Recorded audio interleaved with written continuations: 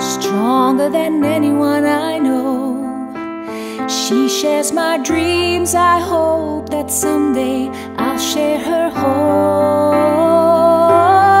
I found love to carry more than just my secrets, to carry love, to carry children of our own.